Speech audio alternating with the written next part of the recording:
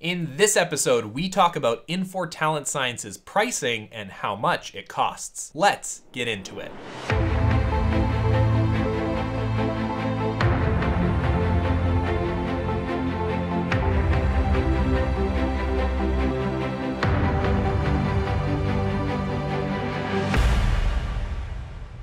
Hi there, welcome to part 6 of a 10 part series on everything you need to know about Infor Talent Science.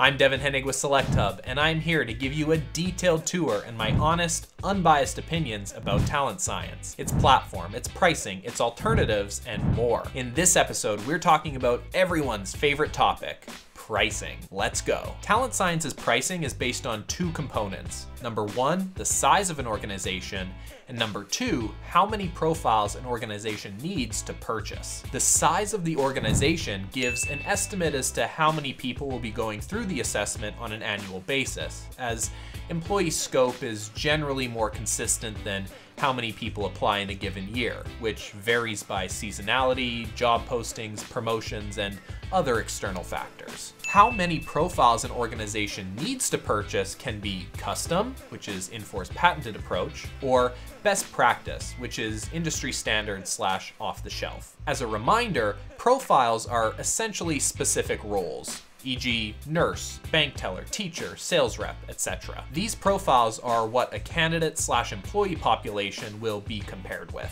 Now for some examples. How many profiles do you need? How many profiles you need to purchase depends on how many roles you plan on using talent science to benchmark and evaluate. Example number one, a retailer is only interested in using the assessment for their in-store positions. Infor would need to know how many unique job families are in the stores. If there are five roles, say cashiers, hourly associates, key holders, assistant managers, and store managers, that would be five separate profiles. Example number two, a healthcare provider wants to use talent science across three of their nursing modalities, ICU, pediatrics, and hospice workers, as well as another role where they're experiencing high turnover.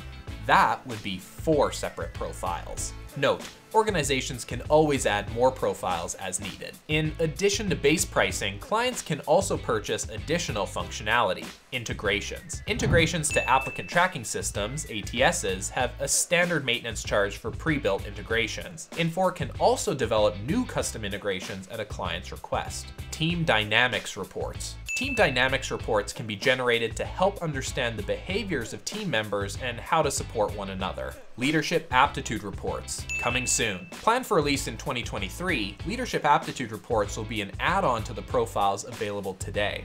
While current profiles are geared toward high volume, hourly hiring, the leadership aptitude reports are designed for senior management and above. Pricing for talent science is best discussed with the vendor directly, as situations vary by roles, organizations, and even industries. Of course, it's always best to get the demo directly and have them walk you through your organization's particular pricing scenarios. Like any software product, the more you buy, the more of a discount you'll get. There you go, Infor Talent Science's pricing. For the rest of this series, including the full review, check out the links in the description. If you're at the point you just want to talk to someone or see talent science in action, get a demo in the description or download our talent and HR resources. They're great if you're still in the research phase of your buying journey. All right, folks, that's it, that's all. Have a good one. Cheers.